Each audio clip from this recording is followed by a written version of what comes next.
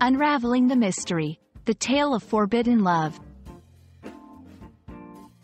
Hello, and welcome everyone. Today we're diving into a captivating phrase that often finds its way into our books, movies, and sometimes, even into our lives, a forbidden love.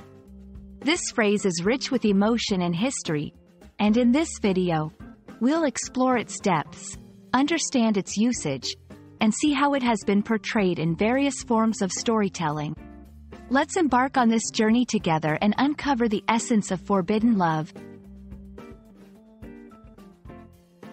Forbidden love refers to a romantic relationship that is not allowed, accepted, or approved by society, family, or certain cultural norms.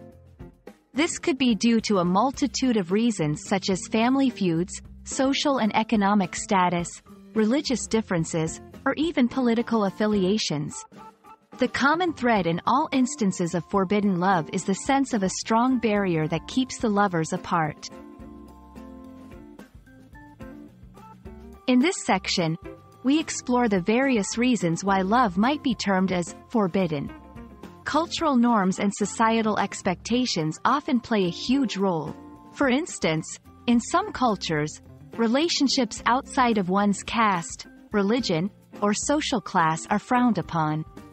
Historical feuds between families, similar to the story of Romeo and Juliet, also contribute to love being forbidden.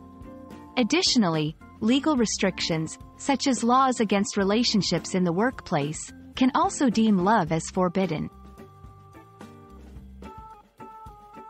Forbidden love is a recurring theme in literature and media, often depicted with intense emotions and dramatic circumstances.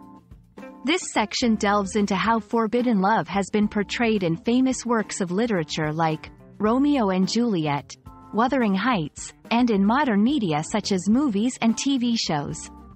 The portrayal of forbidden love often highlights the struggle, the intense emotions involved, and sometimes, the tragic outcomes of such relationships.